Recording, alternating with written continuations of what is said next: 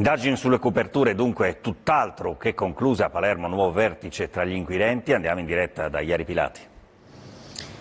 Sul fronte investigativo la notizia più rilevante è naturalmente quella della scoperta della casa di Messina Denaro e tutto ciò che potrebbe comportare l'analisi della documentazione eh, scoperta lì per arrivare ad altri luoghi e altri fiancheggiatori oltre a quelli già sospettati. Ma ogni fatto eclatante come eh, questo in termini criminali comporta delle conseguenze. Il boss aveva contatti con altre organizzazioni e il suo arresto comporterà evidentemente degli, degli smottamenti e una riorganizzazione. Sono i momenti in cui eh, gli investigatori, in particolare chi lavora ad ascoltare letteralmente le reazioni dei mafiosi lavora eh, senza eh, tregua, anche in altre zone d'Italia. Infatti eh, qui è stato fino a poco fa anche il capo della Procura Nazionale Antimafia che ha un ruolo di coordinamento tra tutte le direzioni distrettuali del Paese. Il nostro racconto però parte dal colonnello che ieri materialmente ha riconosciuto Matteo Messina Denaro.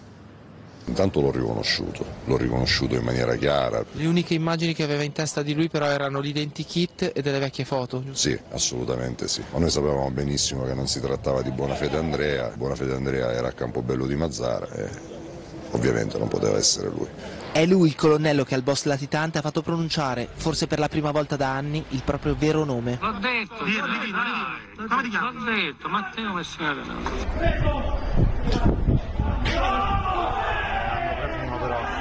Le urla dei carabinieri al momento dell'arresto, la gioia per il risultato. Gli agenti del Rosco il passamontagna, lui in borghese, a volto scoperto. Non sono io che mi devo nascondere, i miei uomini invece devono farlo. In qualche modo neppure Messina Denaro si nascondeva del tutto, non ne aveva bisogno. C'è il tema dell'omertà anche questa volta. Eh beh, un soggetto tutto sommato riconoscibile che girava per Campobello liberamente indisturbato aveva un alto rischio di essere riconosciuto, di fatto nessuno l'ha mai riconosciuto.